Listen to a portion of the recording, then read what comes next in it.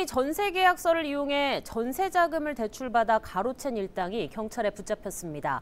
허위로 임대인과 임차인을 모집해 관련 서류를 위조해서 대출을 받았는데 그 금액만 무려 44억 원에 달합니다. 자세한 내용 김경임 기자가 보도합니다. 한 인터넷 카페에 올라온 게시글입니다.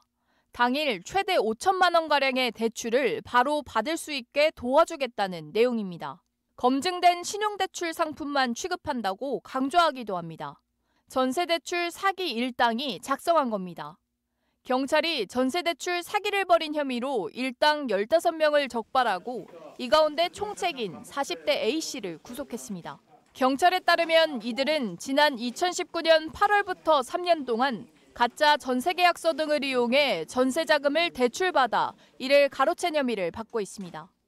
이들은 지인과 SNS 광고 등을 통해 급히 돈이 필요한 사람들을 허위 임차인으로 모집했습니다. 이후 전세계약서 등 대출 관련 서류를 위조해 시중은행에 제출하는 방식으로 29차례에 걸쳐 무려 44억 원의 전세 대출금을 가로챘습니다. 범행에 가담한 허위 임차인 7명은 제주 도민으로 확인됐습니다.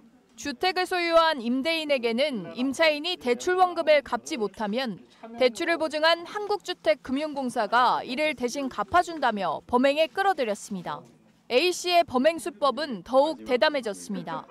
이후 허위 임대인 모집이 쉽지 않자 A씨는 초기 자본 없이 전세 보증금을 받아 주택을 사는 이른바 무자본 갭 투자 방식을 이용했습니다. 이런 방식으로 다른 지역에 있는 차명부동산 14채를 구입해 전세 대출에 활용했는데 대출금은 허위 임대인이 15%, 나머지는 A씨와 허위 임차인이 나눠 가진 것으로 확인됐습니다.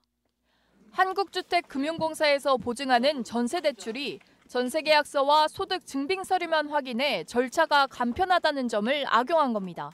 이제 전화상으로 임대인한테 전화상으로만 좀 확인하는 그런 경향이 있습니다. 그래서 이제 저희가 그런 부분에 있어서 좀 강화해 달라고 그 대출 기관이나 이런데 다 요청을 할 계획입니다.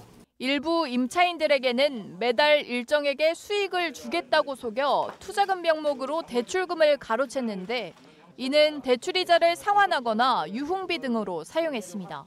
경찰은 범죄 수익금으로 구입한 차명 부동산에 대해 몰수보전을 신청하는 한편 공범이 더 있을 것으로 보고 수사를 확대하고 있습니다.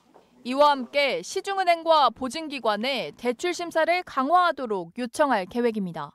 KCTV 뉴스 김경임입니다.